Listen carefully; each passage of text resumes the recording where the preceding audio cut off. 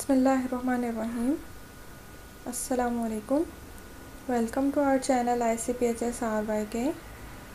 It's me doctor Madiha. Today our video lecture is about hormone तो hormone पे इससे पहले हम फाइव लेक्चर डिस्कस कर चुके हैं।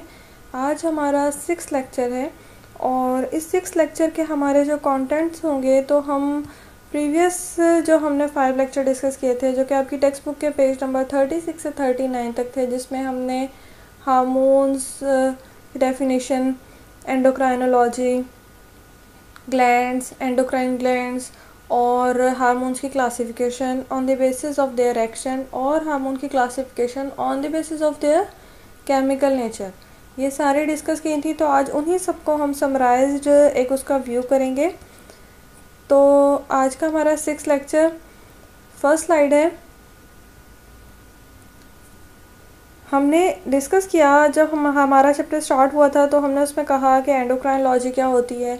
तो स्टडी ऑफ़ एंडोक्राइन ग्लैंड्स इसमें हमने ये कहा कि एंडोक्राइन ग्लैंड की नॉर्मल फिजियोलॉजी उसके नॉर्मल फ़ंक्शन प्लस उसके अब नॉर्मल फ़ंक्शन जिसमें हमने कहा कि उसके डिसऑर्डर्स उसके और उसको ट्रीट करने के लिए फिर ट्रीटमेंट ये सब जब हम पढ़ेंगे तो जिस स्टडी में हम पढ़ेंगे, हमने उसको नाम दिया एंडोक्राइनोलॉजी तो अब ये सारा हम जिसके बारे में पढ़ रहे हैं तो वो सब है एंडोक्राइन ग्लैंड्स तो हम डिस्कस कर रहे हैं स्टडी ऑफ़ एंडोक्राइन ग्लैंड को.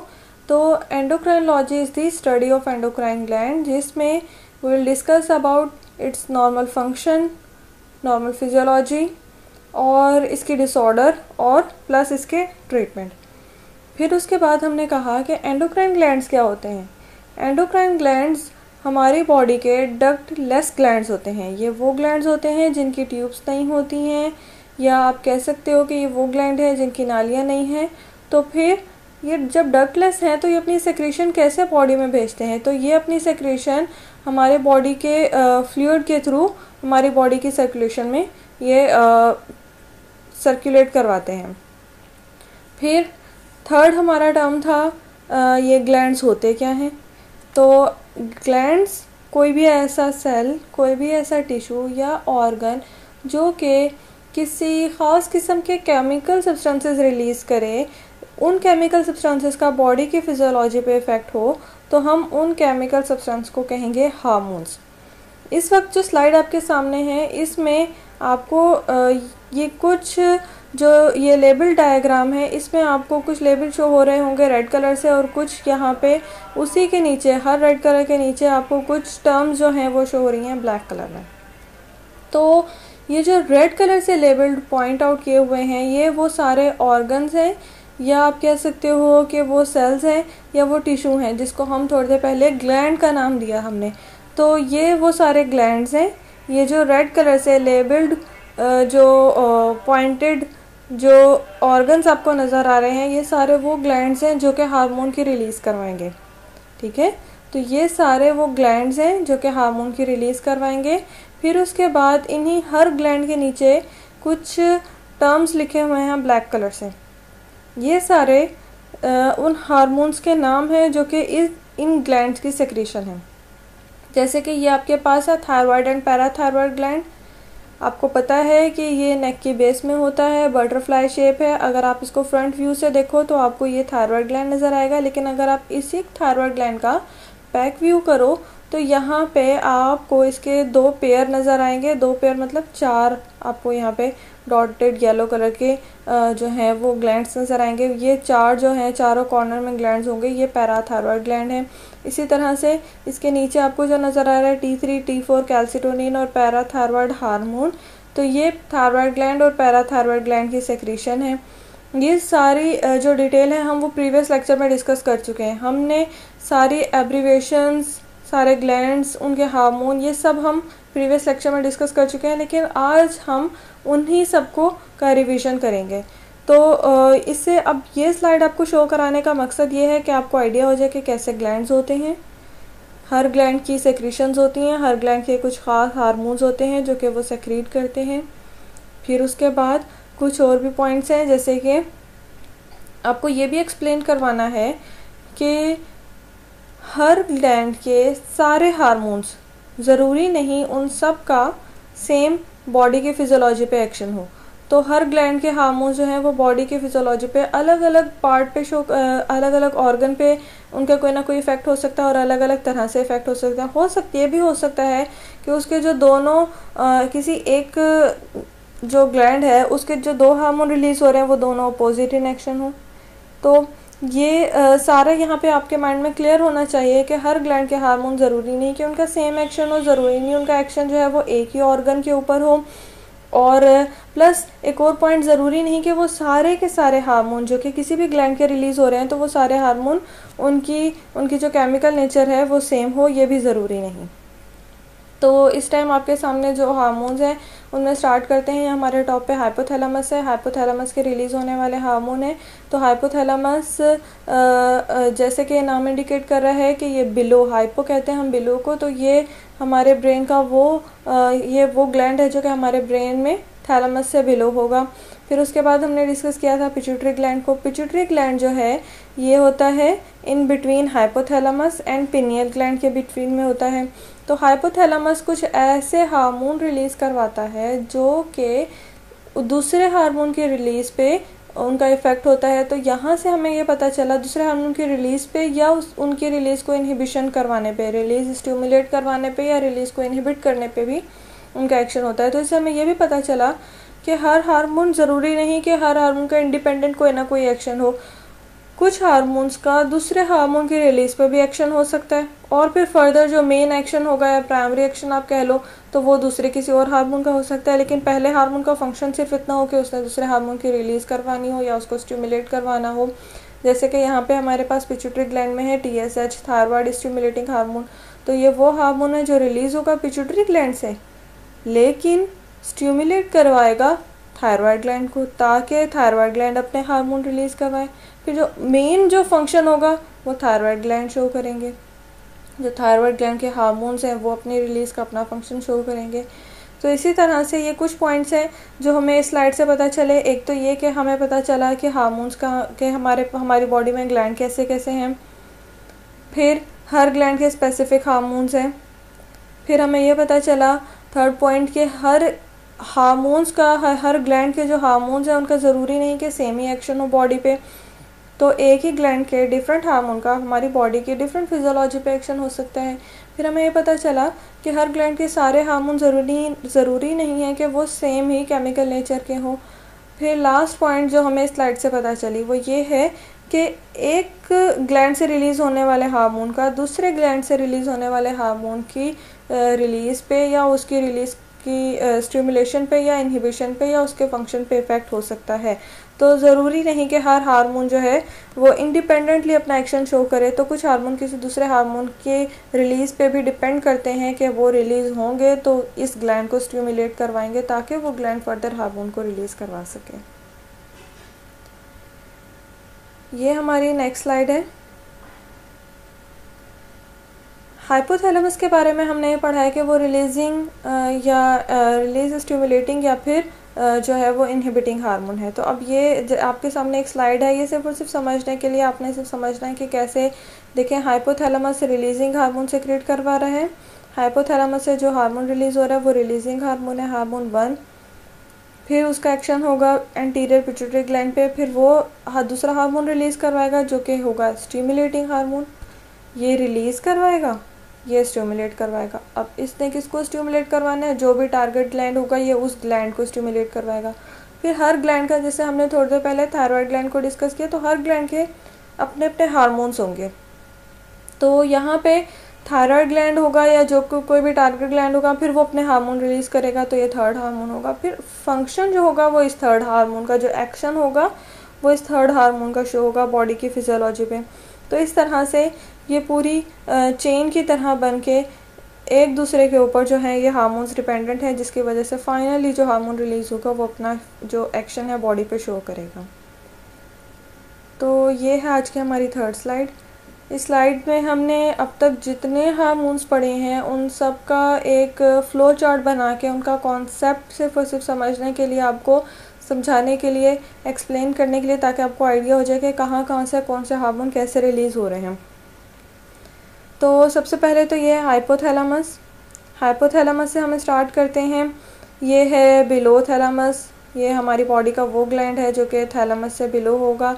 अब हाइपोथैलामस से हमने थोड़ी देर पहले भी डिस्कस किया, हम अभी दोबारा डिस्कस करेंगे। कुछ ऐसे हार्मोन रिलीज़ होते हैं जो दूसरे हार्मोन की रिलीज़ को या तो स्टिमुलेट करवाते हैं या फिर इनहिबिट करवाएँगे। जैसे अभी हमने हम अभी फ़र्स्ट पढ़ने लगे हैं हाइपोथैलामस से रिलीज़ होगा corticotropin releasing hormone C T R H अच्छा इससे पहले हम हमारे जो प्रीवियस लेक्चर थे फाइव लेक्चर उसमें हमने बहुत सारी एब्रीवेशन हार्मोन की एब्रीवेशन हम डिस्कस कर चुके हैं। तो जो हार्मोन्स की एब्रीवेशन हम डिस्कस कर चुके होंगे या हमें याद होंगी वो यहाँ पे मैंने इस फ्लो चार्ट में उन उन हार्मोन्स को सिर्फ़ और सिर्फ़ एब्रीवेशन से मेंशन किया है। हाँ अगर हमने कोई एब्रीवेशन की एक्सपेंडेड फॉर्म नहीं पढ़ी है तो हम यहाँ पे उसको इसी फ्लो चार्ट में उन, उनकी एक्सपेंडेड फॉर्म भी मेंशन है। तो फ़र्स्ट हार्मोन है जैसे हाइपोथैलेमस से रिलीज़ हो रहा है corticotropin releasing hormone C T R H तो अब ये क्या करेगा? कॉर्टिकोट्रोपिन रिलीजिंग हार्मोन इसका फ़ंक्शन है हम आगे पढ़ेंगे लेकिन आपको नाम से पता चल जाएगा कि कॉर्टिकोट्रोपिन रिलीजिंग हार्मोन अब एड्रीनल कॉर्टेक्स के ऊपर एक्शन करेगा ये और उसके हार्मोन्स को रिलीज़ करवाएगा।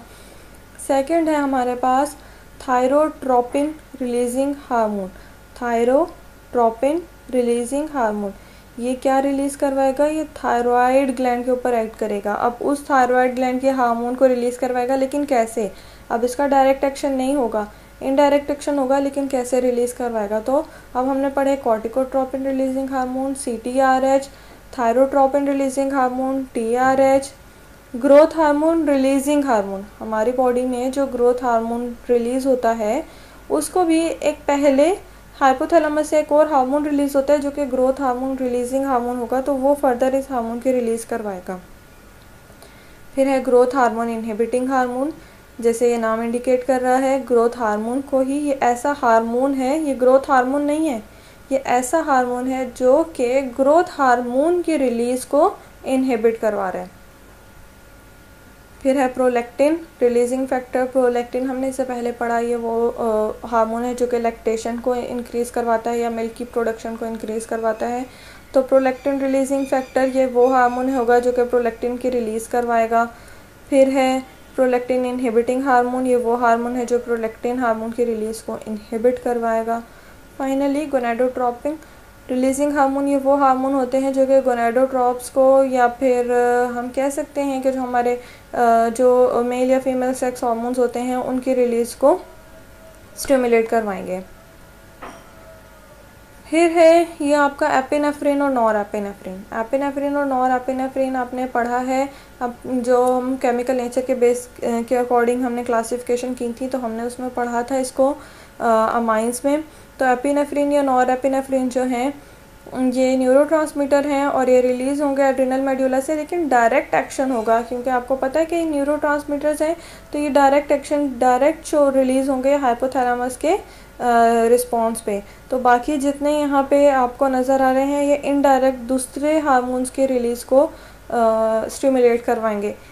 तो फिर उसके बाद हम डिस्कस करते हैं पिचुट्री ग्लैंड पिचुट्री ग्लैंड हमारी बॉडी का वो ग्लैंड है, जो कि इससे पहले हमने डिस्कस किया कि ये पिनियल ग्लैंड और हाइपोथैलामस ये कहाँ पे होता है? ये पिनियल ग्लैंड और हाइपोथैलामस के बीच में होगा। ये है पिचुट्री ग्लैंड इस पिचुट्री ग्लैंड के फर्दर तीन पार्ट्स हैं। कौन कौन से? Anterior pituitary gland intermediate pituitary gland and posterior pituitary gland फिर थर्ड हमारे पास मेन ग्लैंड है पिनियल ग्लैंड ये ग्लैंड रिलीज़ करवाता है मेलाटोनिन हार्मोन को। मेलाटोनिन हार्मोन वो हार्मोन है जो कि स्लीप एंड वेक साइकिल को कंट्रोल करेगा। तो अब आते हैं, अब हम जितने हार्मोन डिस्कस करेंगे, वो सारे हार्मोन्स होंगे आपके एंटीरियर पिचुटरी ग्लैंड से रिलीज़ होने वाले हार्मोन पहले हम इन सबको डिस्कस करेंगे, इन सब का पाथवे क्या होगा, फिर उसके बाद हम इंटरमीडिएट पिचुटरी ग्लैंड को डिस्कस करते हैं, फिर ऐसे ही सो ऑन तो एंटीरियर पिचुटरी ग्लैंड से रिलीज़ होने वाले जो हार्मोन हैं, उसमें अगर हम देखें तो हमारे पास आते हैं A C T H adrenocorticotropic hormone थोड़ी देर पहले हमने क्या कहा था कि हाइपोथैलेमस रिलीज़ करेगा कॉर्टिकोट्रोपिन रिलीजिंग हार्मोन ये एक्ट करेगा पिचुटरी ग्लैंड पे। पिचुटरी ग्लैंड पे भी कौन से पार्ट पे? एंटीरियर पिचुटरी ग्लैंड पे। फिर एंटीरियर पिचुटरी ग्लैंड रिलीज़ करवाएगा adrenocorticotropic releasing hormone adrenocorticotropic hormone तो ये corticotropic releasing hormone adrenocorticotropic hormone के ऊपर एक्ट करेगा और फिर ये फर्दर एड्रीनल ग्लैंड पे इसको भी हम फर्दर डिस्कस करते हैं। तो ये एंटीरियर पिट्यूटरी ग्लैंड से फ़र्स्ट हमारा हार्मोन जो है वो ए है। सेकंड है टी एस एच मैंने आपको पहले कहा था, कुछ एब्रीवेशन मैंने यूज़ किए हैं इस फ्लो चार्ट में, लेकिन आप बिल्कुल परेशान मत हो। ये जो है इसके साथ साथ वैसे तो मैं आपको बताती जाऊँगी, लेकिन ये एब्रीवेशन हम इससे पहले कर चुके हैं। फिर है T S H thyroid stimulating hormone अब ये थायरॉयड ग्लैंड को स्टिमुलेट करेगा।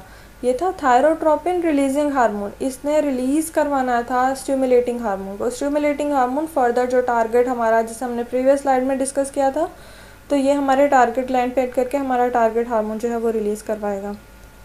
थर्ड है ग्रोथ हार्मोन फिर है प्रोलेक्टिन अच्छा प्रोलेक्टिन की एक्टिवेशन हमने नहीं की थी, इससे पहले इसलिए मैंने यहाँ पे मेंशन कर दिया पी आर एल फिर है F S H follicle stimulating hormone फिर है एल एच ल्यूटिनाइजिंग हार्मोन फिर इंटरमीडिएट पिचुटरी ग्लैंड के हार्मोन्स हैं मेलानोसाइट स्टिमुलेटिंग हार्मोन ये मेलानोसाइट्स हैं। ये मेलाटोनिन है।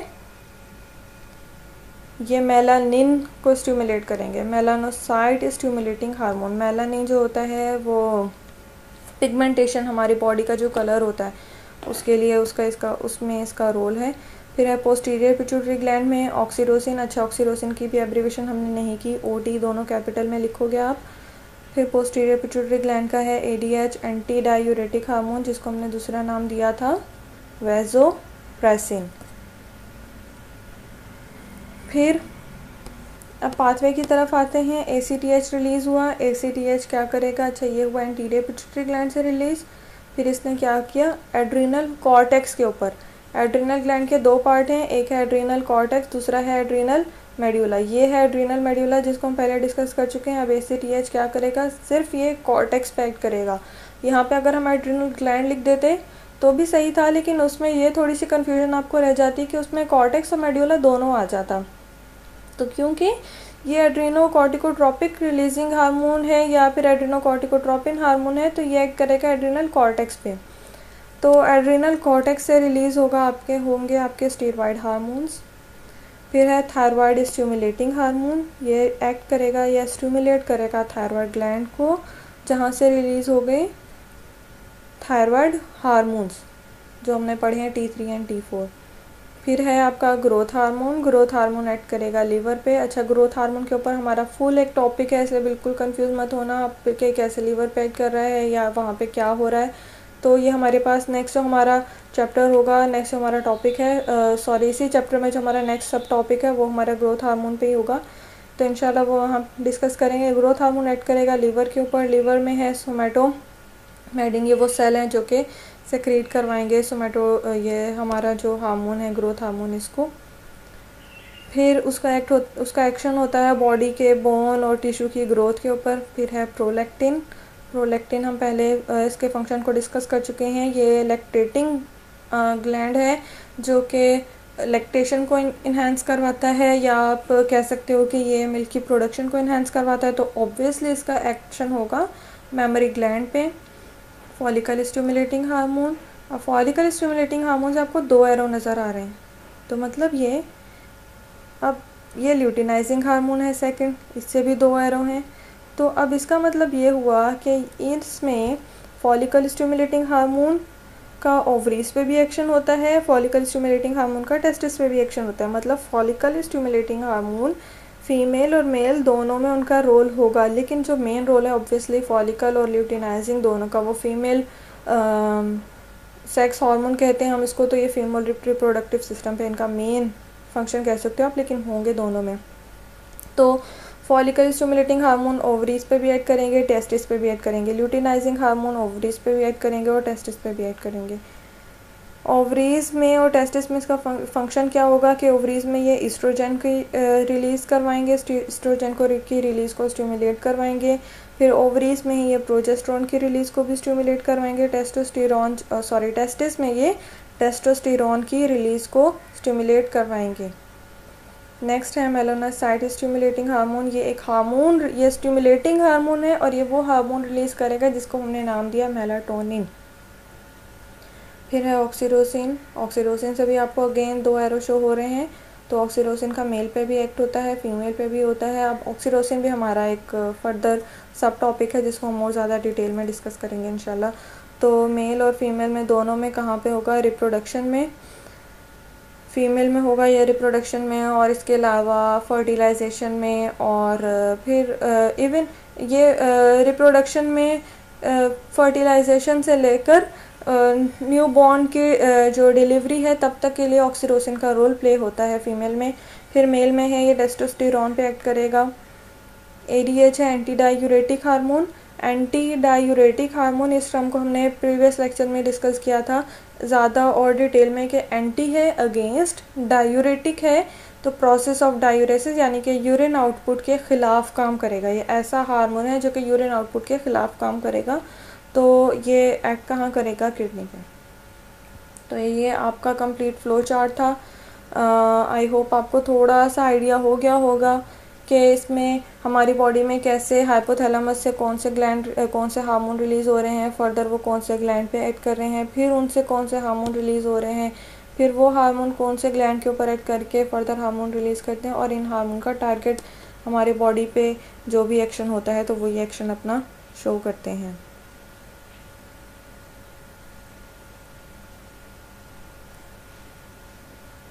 फिर ये हर हार्मोन को मैंने थोड़ा सा आपको एक्सप्लेन करने के लिए, वैसे ये जब हमारा टॉपिक आएँगे, सारे हम जब टॉपिक सेपरेट करेंगे, जैसे कि ग्रोथ हार्मोन हम डिस्कस करेंगे तो फिर हम उसके बाद ये जो पाथवे है, हम इसको सब डिस्कस कर सकते हैं, लेकिन यहाँ पे थोड़ा सा आपको आइडिया हो जाए जैसे हमने प्रीवियस स्लाइड में डिस्कस किया हाइपोथैलेमस है, ये रिलीज़ कर रहा है कॉर्टिकोट्रॉपिक रिलीजिंग हार्मोन सी ये एक्ट करेगा पिचुट्री ग्लैंड पे, वो रिलीज़ करेगा एड्रीनो कॉर्टिकोट्रॉपिक हार्मोन को, फिर वो एक्ट करेगा एड्रीनल ग्लैंड पे। एड्रिनल ग्लैंड पे भी, फिर वो यहाँ पे एड्रिनल कॉर्टेक्स पे। अच्छा यहाँ पे एड्रिनल ग्लैंड के दो पार्ट आपको शो हो रहे हैं एड्रिनल मेड्यूला और एड्रिनल कॉर्टेक्स मेड्यूला में ये वही एड्रिनालिन और नॉर एड्रिनालिन है जो कि हमने प्रीवियस स्लाइड में जिसको हमने नाम दिया था एपिनेफ्रिन और नॉर एपिनेफ्रिन वो मेड्यूला से रिलीज़ हो रहे हैं एड्रिनल कॉर्टेक्स से जो हैं वो फर्दर स्टीरॉयड हार्मोन जो भी हैं, हमारे बॉडी के वो रिलीज़ होंगे।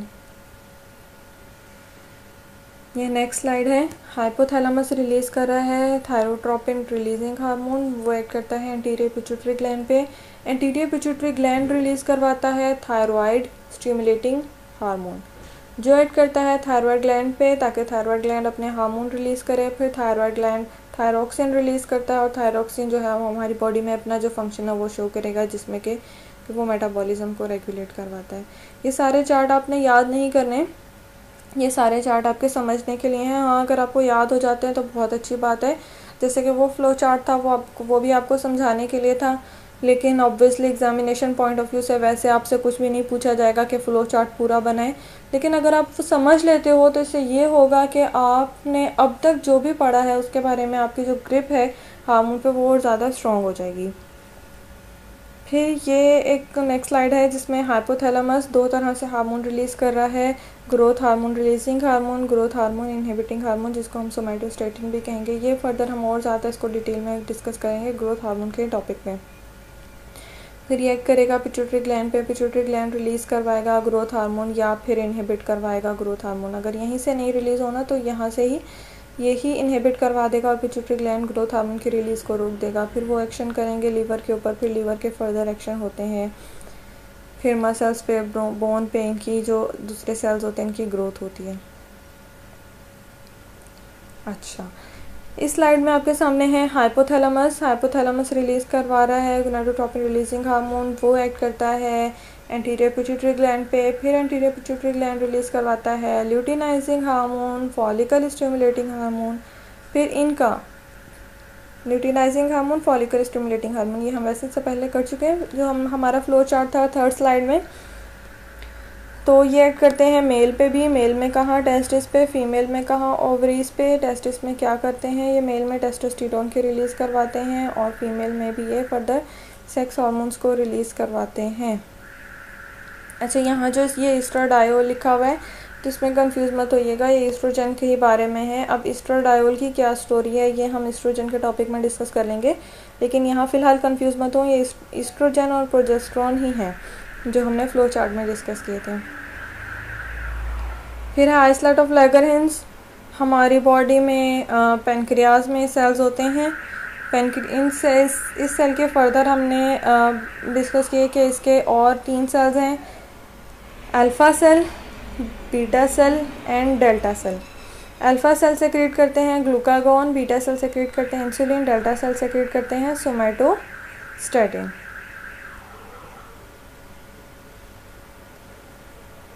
फिर अच्छा यहाँ तक आपको थोड़ा आइडिया हो गया होगा प्रीवियस यहाँ तक, इस स्लाइड तक। तो इस स्लाइड तक जो हमने पढ़ा है, उसकी समरी मैं आपके सामने एक दफ़ा रख देती हूँ। यहाँ तक हमने ये पढ़ा है कि हमारी बॉडी में कहाँ कहाँ ग्लैंड कैसे कैसे मौजूद हैं? फिर हर ग्लैंड के कैसे कैसे हार्मोन्स हैं? हर हार्मोन का ज़रूरी नहीं बॉडी की फिजियोलॉजी पे सेम एक्शन हो या अच्छा एक और पॉइंट हर हार्मोन का ज़रूरी नहीं कि सिर्फ़ एक एक ही एक्शन हो या एक ही फ़ंक्शन हो। तो हम जो यहाँ पे डिस्कस करते हैं हम वो कोई भी उसका एक या मेजर फ़ंक्शन को हम डिस्कस कर लेते हैं। फिर उसके बाद आ, हमने ये पढ़ा कि कैसे किसी दूसरे, किसी हार्मोन की जो रिलीज़ है, वो किसी किसी ग्लैंड की जो रिलीज़ है, या सॉरी किसी ग्लैंड के जो हार्मोन है या किसी ग्लैंड की जो रिलीज़ है, वो फर्दर दूसरे हार्मोन की रिलीज़ को स्टिमुलेट करवाते हैं, या फिर उनकी रिलीज़ को इनहिबिट करवाते हैं। तो ये सारा यहाँ तक आपको समझ आ गई होगी। अब फर्दर हमने जो हमारी फर्दर स्लाइड्स हैं, उसमें हम वो डिस्कस करेंगे। कि किस तरह से हमने हार्मोन्स को उसकी केमिकल नेचर की बेस पे क्लासिफाई किया है?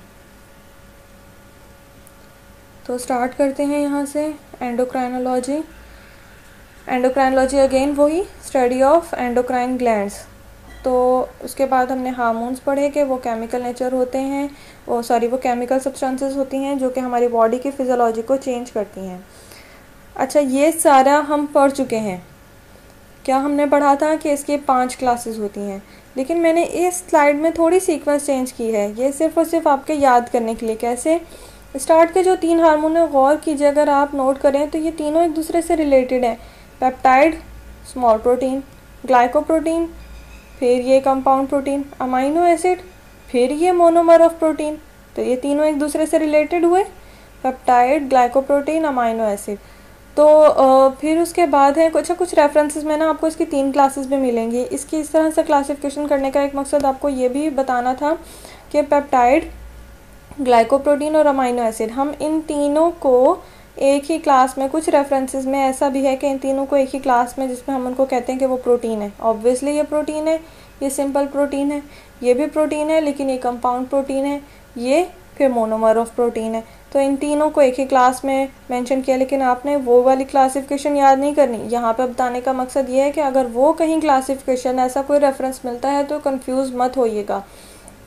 क्योंकि वो जनरलाइज क्लासिफिकेशन ये और ज़्यादा जो आपकी बुक में है, ये और ज़्यादा डिटेल्ड और स्पेसिफाइड क्लासिफिकेशन है तो आपने इसी को कंसिडर करना है। फोर्थ है स्टीरवाइड फिफ्थ है अमाइंस ये हम बहुत दफ़ा पहले भी प्रीवियस टॉपिक में भी कर चुके हैं स्टीरवाइड कैसे होते हैं अमाइंस कैसे होते हैं। अच्छा पेप्टाइड से स्टार्ट करते हैं। आज यहाँ पे जो मैं आपको बताने लगी हूँ तो ये मैंने इसलिए स्टार्ट किया है ताकि आपको आ, याद करना आसान हो जाए। पेप्टाइड से रिलीज़ होने पेप्टाइड जो हार्मोन है वो कौन कौन से ग्लैंड से रिलीज़ होते हैं? Anterior pituitary gland posterior pituitary gland islet of Langer Langerhans thyroid gland parathyroid gland GIT hormones releasing inhibitory hormone ये ये किसके हैं? हाइपोथैलेमस के। ये हार्मोन है हाइपोथैलेमस के। फिर है ओवरीज ठीक है? ये हो गया। अब आपने याद कैसे करना है? वो बच्चे जिनको याद हो जाए नाम, बहुत अच्छी बात है। अब इसको पहले काउंट कर लो, ये कितने हैं? वन ये आपको उस तरीके से याद करवा रही हूँ, जिससे मैंने आपको अमाइनो एसिड की क्लासिफिकेशन याद करवाई थी। तो जिन बच्चों ने मेरा अमाइनो एसिड का लेक्चर लिया था तो उनको आइडिया हो गया होगा कि अभी मैं क्या कहने लगी हूँ। लेकिन यहाँ पे बहुत ज़रूरी है आपको ये समझना कि आपने कैसे याद करना है। अब इसको काउंट कर लो जल्दी से कि ये कितने हुए? One two three four five six seven eight ठीक है? जिन बच्चों को ऐसे भी याद है लेकिन फिर भी अगर आप ये तरीके से करोगे तो फिर आपको ये आ, ऐसा नहीं होगा कि आप एग्ज़ाम में कोई सी भी एक क्लास जो इसकी सब क्लास है वो मिस करोगे। तो कितने हो गए ये? Three four five six seven eight eight हो गई इसकी पेप्टाइड की। जो फर्दर हम सब क्लासेस की बात करें वो कितनी सब क्लासेस हो गई? एट अब इन सब का जो फ़र्स्ट फ़र्स्ट लेटर है उसको उसकी यहाँ पे की बनाओ। एंटीरियर ये आ गया ए एंटीरियर पिचुट्री है ना? A pituitary gland P islet of Langerhans I thyroid gland T फिर parathyroid gland P G I T hormone G फिर ये जो रिलीजिंग एंड इनहिबिटरिंग हार्मोन है, ये मैंने आपको पहले बताया कहाँ से है? हाइपोथैलेमस से। हाइपोथैलेमस का एच ओवरीज का ओ ठीक है? अभी हमारे पास कितने लेटर्स हो गए? One two three four five six seven eight again eight तो ये हमारे पास एट इसकी क्लासिफिकेशन हो गई। अब इसको थोड़ा सा आपने ना रीअरेंज करना है। एक टर्म बनाए इसको अब आप सबके सामने शो हो रहा है। अब इसको प्रोनाउंस करो। ओ ए पी आई आपी जी टी पी है। ओ आपी जी टी पी है। अब ये एट लेटर्स हैं, वही वाले आपके पेप्टाइड के जो फर्दर हमने ग्लैंड्स को डिस्कस किया है, उसके। तो इसके अकॉर्डिंग आपको ये अगर ये वाला याद कर लो, फिर उसके बाद जब आप लिखने लगोगे एग्ज़ाम में तो ये एट की एट जो आपके पास सब क्लासेस हैं पेप्टाइड की, वो आपको नहीं भूलेंगी। ठीक है? फिर उसके बाद एंटीरियर पिचुटरी ग्लैंड है। इसके फर्दर अच्छा अब इनमें हर ग्लैंड में हमने कुछ कुछ हार्मोन पढ़े थे। एंटीरियर पिचुटरी ग्लैंड में है ग्रोथ हार्मोन ए प्रोलेक्टिन फिर है, अब इसका, अब growth hormone A C T H और प्रोलेक्टिन का एक एब्रीवेशन बनाओ। जी ए पी गैप ठीक है? हो जाएगा याद? ग्रोथ हार्मोन का जी ए सी टी एच का ए प्रोलेक्टिन का पी गैप पोस्टीरियर में वैसे ये फ्लो चार्ट से याद हो जाना चाहिए कि दो ही थे वहाँ पे भी, लेकिन फिर भी एंटी डायूरेटिक हार्मोन एडीएच और ओटी ऑक्सीटोसिन के लिए है यहाँ पे तो ये हो गया एट ठीक है? आइसलेट ऑफ़ लेगरहिंस ये तीनों तो ईजी हैं। इंसुलिन है ग्लूकागोन है सोमेटोस्टेटिन है आईजीएस फिर फर्दर तो सिंगल सिंगल ही होंगे। थायरॉयड ग्लैंड का एक कैल्सिटोनिन ही है, जो कि पेप्टाइड नेचर है। पैराथायरॉयड ग्लैंड का पैराथायरॉयड हार्मोन ही है। पैराथॉर्मोन्स जीआईटी में हमने सिर्फ़ सब्सटेंस भी पढ़ा है। रिलीजिंग या इनहिबिटिंग हार्मोन में। आप अब कौन सी एग्जांपल याद कर लोगे? ग्रोथ हार्मोन रिलीजिंग हार्मोन या ग्रोथ हार्मोन इनहिबिटिंग हार्मोन ठीक है? ये एग्जांपल याद कर लोगे, फिर ओवरीज में रिलैक्सिन है जो कि रिलीज़ हो रहे हैं। ये होगी एक क्लास आपकी। अब फर्दर हमारी कौन सी क्लासेस हैं? ग्लाइकोप्रोटीन अमाइनो एसिड तो नेक्स्ट में हम डिस्कस करते हैं ग्लाइकोप्रोटीन ये ग्लाइकोप्रोटीन है, इसकी चार हैं।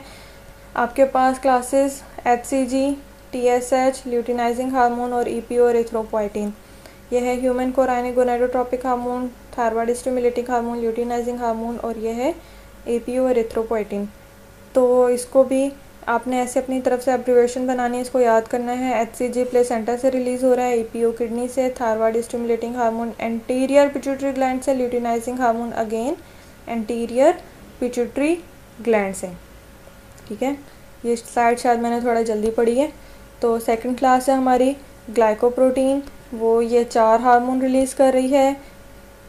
ह्यूमन कोरानिक गोनेडोट्रॉपिक हार्मोन फिर है आपके पास thyroid stimulating hormone luteinizing hormone और erythropoietin H C G placenta secrete करेगा, लेकिन इम्प्लांटेशन के बाद प्रेगनेंसी के बाद, ठीक है?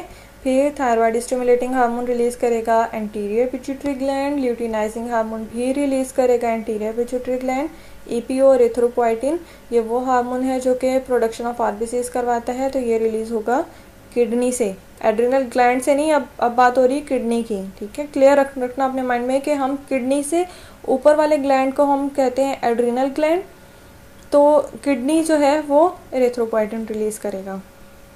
नेक्स्ट हमारी क्लास है थर्ड अमाइनो एसिड्स ये तो बहुत ईजी है, जल्दी से याद हो जाएँगे। T three T four amino acids में भी पढ़े याद होगा आयोडीनेटेड अमाइनो एसिड में ये टर्म पढ़े थे T three and T four दोनों के ग्लैंड कौन से हैं?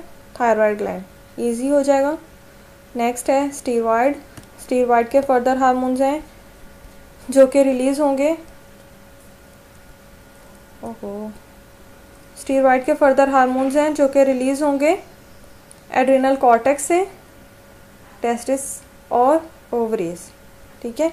अब ये क्या करेगा? एड्रिनल कॉर्टेक्स से फर्दर तीन हार्मोन्स हैं, जो कि हैं एल्डोस्टीरोन कॉर्टिसोल और एड्रिनल एंड्रोजेंस ओवरीज से हैं एस्ट्रोजन एंड प्रोजेस्ट्रॉन ये तो बहुत दफ़ा हम डिस्कस कर चुके हैं, जब हम, वैसे हम ना, इस चैप्टर में हमारे पास ईस्ट्रोजन और प्रोजेस्ट्रॉन और डिटेल में जब आप वो पढ़ोगे, फिर तो आपको ये क्लासिफिकेशन बहुत ही ईजी लगेंगी।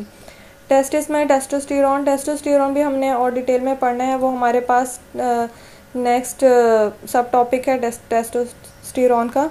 तो इनशाला तब आपको और ज़्यादा वो अच्छे से याद हो जाएगा।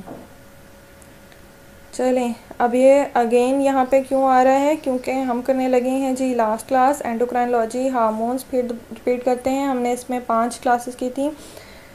Peptide glycoprotein amino acid steroid और फिफ्थ वन अमाइंस तो अभी जो हम डिस्कस करेंगे वो है अमाइंस अमाइंस में हमारे पास यही चार हार्मोन्स हैं melatonin A C T H acetylcholine adrenaline and noradrenaline adrenaline ये वही है बच्चे जिसको हमने पढ़ा था कि एपिनेफ्रिन है नॉर एड्रेनालिन को नॉर एपिनेफ्रिन मेलाटोनिन रिलीज़ होगा पिनियल ग्लैंड से। एसीटीएच जो है वो, क्योंकि ये न्यूरोमस्कुलर जंक्शंस पर रिलीज़ होता है न्यूरो है तो न्यूरॉन और एड्रेनालिन और नॉर एड्रेनालिन जो है वो एड्रीनल ग्लैंड से रिलीज़ होंगे। अब इसका भी, इसकी भी एक एब्रीवेशन बना रहे हैं आप अगर। तो ये आपको याद हो जाएगा एसिटाइलकोलिन ए से एड्रेनालिन ए से, फिर नॉर एड्रेनालिन एन ए और एम से मेलाटोनिन तो एनम इसकी एब्रीवेशन बन गई, बाकी इसके जो ग्लैंड हैं वो तो मेलाटोनिन का का ग्लैंड तो सब बच्चों को याद हो गया होगा मेलाटोनिन पिनियल से वो रिलीज़ होता है. एड्रीनालिन और एड्रीनालिन भी हमने जो हमारा फ्लो चार्ट था थर्ड साइड में, हमने उसमें भी इसको बिल्कुल ही अलग कर दिया था। इस वजह से ये भी याद होगा। एसिडाइलकोलिन आपने फिजियोलॉजी में बहुत दफ़ा पढ़ा होगा इसके बारे में कि न्यूरो है तो इसके बारे में भी आपको आइडिया हो गया होगा। तो आज का चैप्टर हमारा एंड हुआ। इस चैप्टर में मैंने कोशिश की थी कि जो प्रीवियस फाइव हमारे सॉरी इस लेक्चर में मैंने कोशिश की थी कि जो प्रीवियस फाइव लेक्चर हैं उसको एक ऐसे सम समराइज बना के मैं आपके सामने शो करूँ, जिससे आपको वो याद करने आसान हो जाए। ठीक है? तो अब फिर बच्चों ने कंफ्यूज नहीं होना। एग्ज़ाम में जो भी आएगा क्लासिफिकेशन वही लिखनी है जो बुक में है। अब वो कैसे याद होती है? जिन बच्चों को ऐसे याद होती है तो ऐसे याद कर लें। जैसे आपको आसानी लगे, लेकिन फ़्लो चार्ट जो है वो आपको समझने के लिए वो कोशिश कीजिएगा कि वो हर बच्चे को याद हो जाए कि कौन से ग्लैंड से कौन से हार्मोन्स हैं। तो हम नेक्स्ट चैप्टर में डिस्कस करेंगे हमारा जो फर्दर हमारी क्लासिफिकेशन है, जो कि हमारा फ़र्स्ट हार्मोन है, जिसको हमने डिटेल में पढ़ना है, हमारा ग्रोथ हार्मोन तो उसमें हमने उसको और ज़्यादा डिटेल में डिस्कस करना है, वो कैसे रिलीज़ होता है, क्या बॉडी पे फ़ंक्शन शो करता है। तो ग्रोथ हार्मोन हम इंशाल्लाह नेक्स्ट लेक्चर में डिस्कस करेंगे। तब तक स्टे ब्लेस्ड अल्लाह हाफिज़।